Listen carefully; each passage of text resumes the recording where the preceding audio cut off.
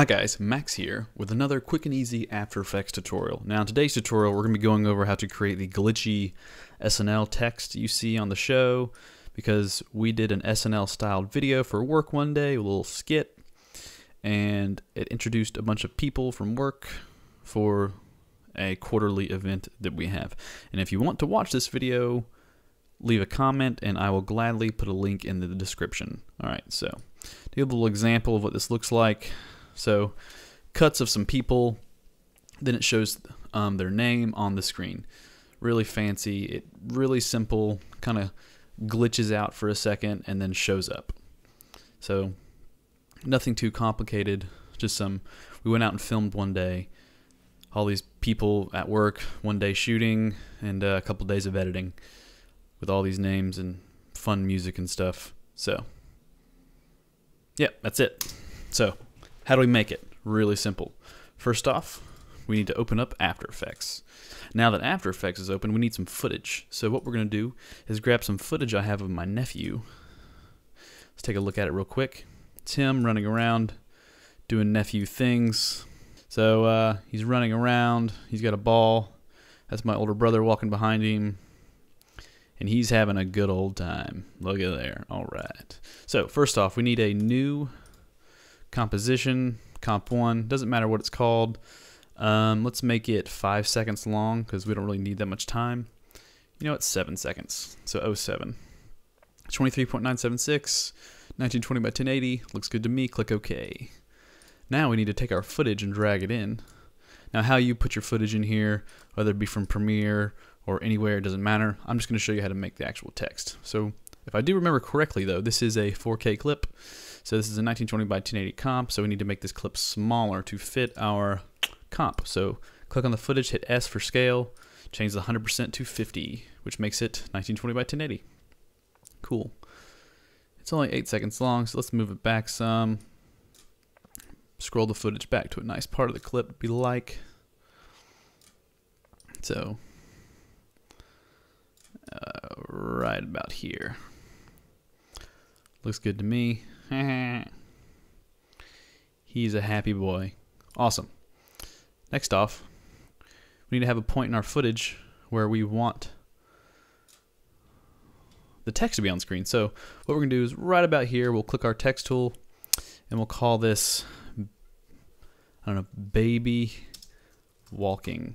And that looks about good. We're using tungsten bold right now. So uh, what we're going to do is let's uh, space this down one. Sometimes when you space it down, it'll look like this or look all stretched out. What you got to do is highlight it. Grab this right here, this little number with these A above A. I don't know, was this the leading? Yes, the leading. And move it down to something you like. And what I'm going to do next is actually kind of space this over a little bit. And maybe we'll um, move the anchor point to the middle. Maybe we'll increase the size a little bit, scale it up. So when it stops glitching, it'll be right about there and be like, baby walking. Looks good to me. Cool. So what we're going to do now is actually pre-compose this. Pre-compose is called this text. Yeah. So what we're going to do now is actually um, get this thing to jump around. So what we're going to do is drop down this little transform tag. We would normally hit P for position, but I like having it all open for this because what we're going to do is actually key everything. So click the hourglass, key all of it. Um, some of them are not needed to be keyed, but I do it all just because you never know what I'll be editing. So what we're going to do now is actually scroll back in time a little bit and move it. Then maybe change the scale, make it a little bigger. Scroll back in time a little bit, move it, change the scale, scroll back in time a little bit, move it, change the scale again, scroll back in time a little bit, move it, and change the scale just a bit, move it down some. So it does this across the screen. Maybe we'll do it one more time. Start over here, make the scale really big, like that. Cool. So it moves like this. Right now it's just wavy all over the screen, but we will fix this. Cool. What we're going to do now is actually offset all of these. So move this keyframe to the middle. Move this keyframe, maybe keep this one about the same. Move this one forward, move this right here. Take these and move them back some. So it moves like this. And this is the big next trick that makes this really cool because we saw we, in the original video, we never actually saw anything moving. It just jumped on the screen. If you watch, you can see where it'll just jump around, but we want it to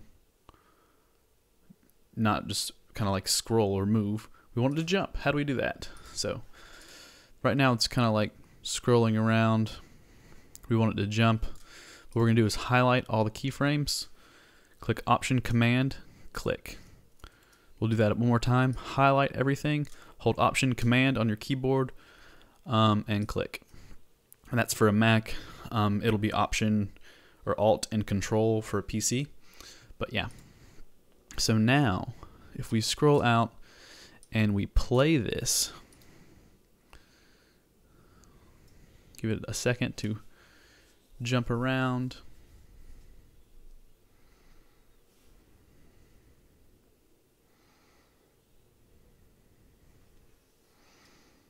Look at that. Looking pretty nice so far. What we got to do now is actually take these keyframes and move them a little closer. Let's move the first one to be right here. This to be right here. Maybe move it So make it a little smaller, move it, control option click on both of these, and take these keyframes and push them together. We need this to be a lot faster.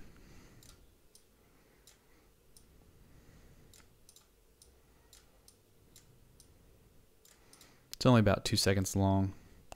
Give it another play. Cool. Let's change this around actually. Let's move some keyframes. And what I'm really doing is just kind of guessing. I mean, none of this really matters too much. So you just kind of like guess. Ah, that looks nice. Yeah, so it jumps around the way I like it. Feel free to change your keyframes around. Do whatever you want. So now that we got this the way we want it, what we're going to do is kind of customize it a little bit. So to give it a little more extra pizzazz, what we're going to do is actually go to the beginning, click U on our keyboard, see our keyframes, and start it right here. Close this down so the text appears right here and then moves around. Now what we're going to do now is actually something pretty neat. So go to the very end and take this layer and duplicate it. So Command D to duplicate, the layer. So there's two of these, and what we're going to do is take the one on bottom, click the pen tool, make sure that one on top is hidden, and take the pen tool on your bottom layer and actually draw a mask around the bottom text. Now you can choose whatever you want to do this, it doesn't matter.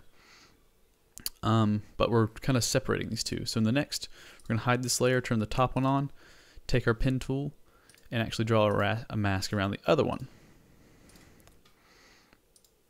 So there's two, basically two separate ones now that do the same thing.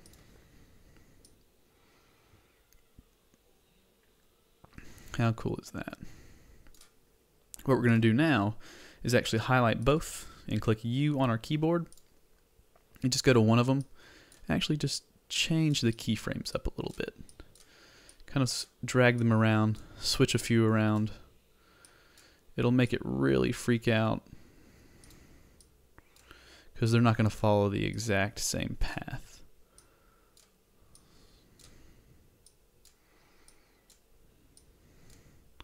So now they're jumping around separately on the screen. And even cooler is what you can do is actually move this one over a little bit. So boom, boom, boom, boom. Walking gets there, then baby jumps up there. How cool is that? What we can do now is actually duplicate the top layer and then click option bracket right here, option bracket right here, and move it. So we're making a gap right here where this layer will blink. Gone, back. Just like that. Maybe we'll move it over, move this over.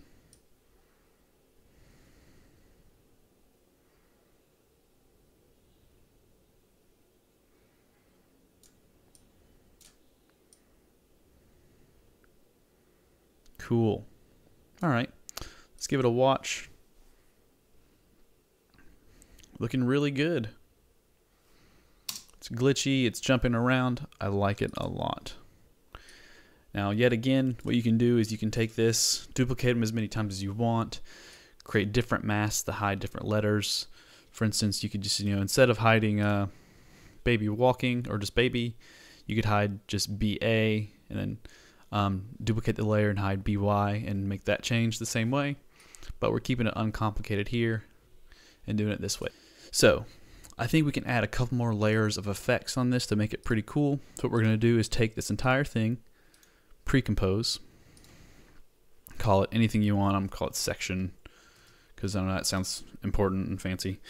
and what we're going to do is actually duplicate this layer. So it's the same thing on top of each other. Then what we'll do is click the bottom layer, click the little 3D tool right here. If it's not showing, you can right click columns and is it switches? Yes. Right click columns, switches, pops up this little thing right here. Click the 3D um, layer on the, the bottom layer, which is this. Then we're going to click down on the transform tool and move this over to the end. We're going to move it over we're going to scale it up a lot, pretty big. Then what we'll do is take the X rotation, Y rotation, move it over like this, maybe tilt it down some,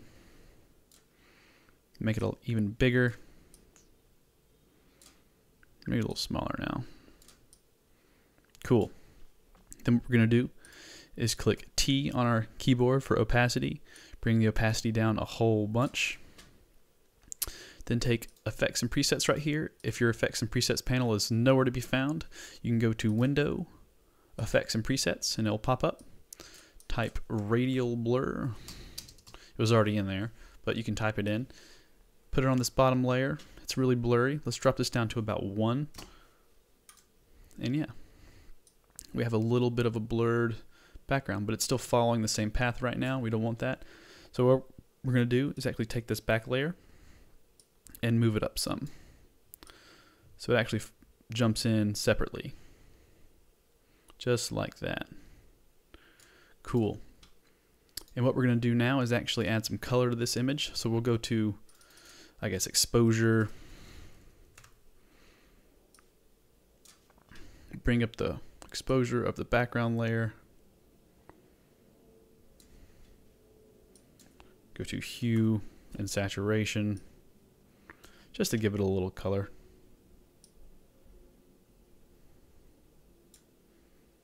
Hmm.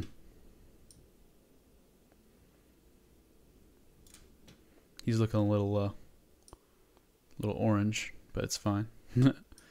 yeah, just kind of brighten the background image up, which means we can take the back layer of section, which is the blurry one, click T on your keyboard, and bring up the opacity a little bit just to see it and one more layer of effects to make this thing look really cool, what we're going to do is bring in some bokeh, which I'm going to put a link in the description where you can download this free bokeh pack.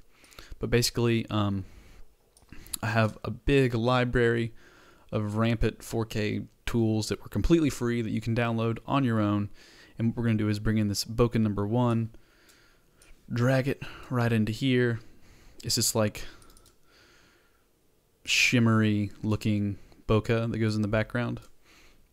And what we're going to do is take it and drag it right above our video layer. Click S for scale, scale it down some. Then drop down the mode to screen. Then take the opacity, drop it down some. And let's click play. And it looks like this thing's running well.